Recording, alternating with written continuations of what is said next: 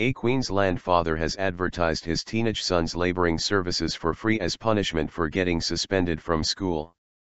Warren Blythe resorted to the tough love approach when his 14-year, old son Jacob was suspended from Kirwan State High School in Townsville for five days last week.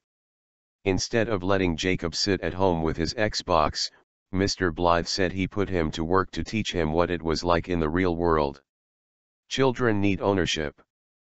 They need to understand that what they do today will affect them tomorrow, Mr. Blythe told a current affair. It breaks my heart because this generation is going to keep on going and getting worse and worse. When, my son steps out of line, I let him know he stepped out of line.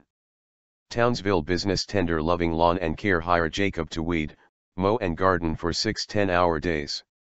Every day it just got harder and harder. I woke up at about 5.30, left at 6.30 and came home around 4.30 to 5.30 p.m., Jacob said. More kids should do it when they get suspended. It was a good lesson.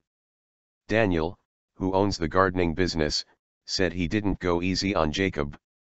Giving the kids a holiday is not going to fix their behavior problems, he said.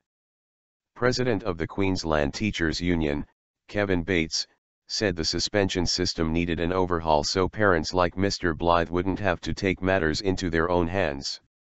In reality, schools have very limited options to deal with the real problems, Mr. Bates said. These sorts of options are the sorts of things that schools could do, if only they had the resources.